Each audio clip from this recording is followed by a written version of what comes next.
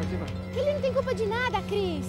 Você fica, cara. Ei, devagar com a louça aí, ô macaco. Tu vai rasgar minha beca. Solta ele, Cris. Vai dizer bonitinho, por que você quer minha assinatura, senão eu te mato, cara. Eu te mato mesmo, vai. Fala tudo pra ele, Miro, conta tudo. Cala essa boca, Saraca! Fala, ele só queria uma referência pra arrumar emprego, Cris. Cala a boca, já falei! Você que cala essa boca, por que você queria esse emprego? Emprego? Que papo é esse? É pra gente se casar, Cris. Não, não é isso, não. Eu quero a verdade, Miro. Me diz a verdade. A verdade é essa, pomba. Não vou aceitar, não é mesmo. Você quer outra jogada suja, não é isso? Minha assinatura num papel em branco, cara, é isso? Fala! Vai, diz! Para, Cris! Porra. Te falo uma coisa, rapaz, é bom você me esquecer. Me esquece, senão você vai se dar mal. Pior ainda. Sou capaz, companheiro, de te mandar pro inferno. Guardou bem isso na tua cabeça? Te mando pro inferno. Vambora. Vambora, pô.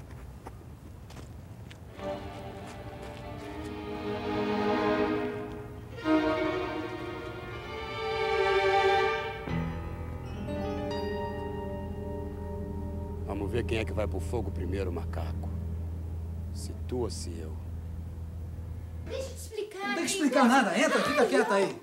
Ô, minha filha, onde é que você está? Pega ladrão! Pega ladrão! Que isso? Por que, que você está dizendo isso? Pega ladrão! Que que é? ladrão! É ladrão! que foi que Não, não deixa não, não deixa não. que foi, meu filho? O que aconteceu? Meu Deus do céu. Ô,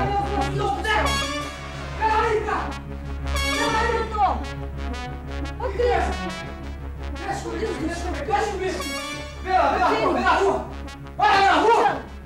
Luciano, o que Ladrão, é ladrão, ladrão. Isso aí, o que Isso aqui é um revólver, mãe, é do vigia. Não tá vendo não, é do vigia. Isso é isso aqui eu não sei não. Cachorro fugiu, pô.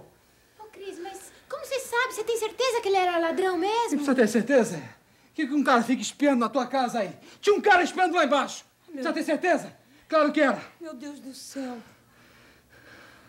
Meu Deus. Oh, meu Deus do céu. Ô, mano. E você ia atirar? Sei lá, se eu atirar, gente. Sei lá. Mas eu não tô legal, eu tô nervoso. A coisa... Meu filho, Antes a vida era mais calma. que isso, meu filho? É assim mesmo, cidade grande é assim.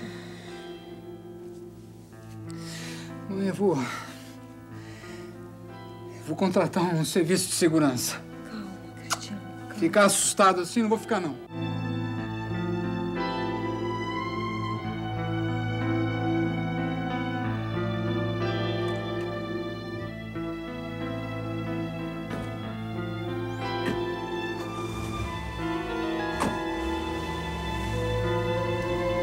Ele está assim desde aquela noite. Agora em cada porta tem três fechaduras. Isso é vida, Veré. Cristiano agora vive com medo de tudo. Ele está sendo ameaçado, Bastião. Até o Miro está botando as mangas de fora. Dia. Por favor, por favor. Pode me aguardar lá fora, tá? Aqui eu não corro nenhum perigo.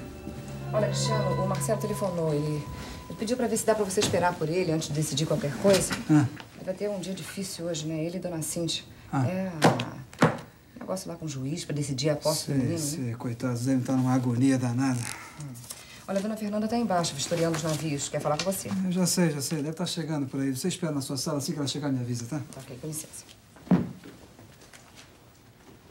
Tudo em ordem, doutor Cristiano? Tudo? Alguma outra ameaça aí, homem? Não, não.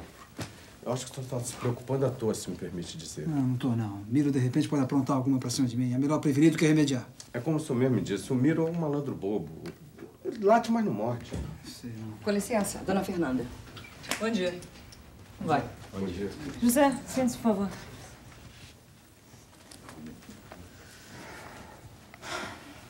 Não quer sentar, não? Não. Os navios que nós compramos são obsoletos, lentos e antiquados. Eu vim aqui fazer uma outra encomenda. Uhum. José, por favor, você pode mostrar o tipo de cargueiro que nós estamos precisando?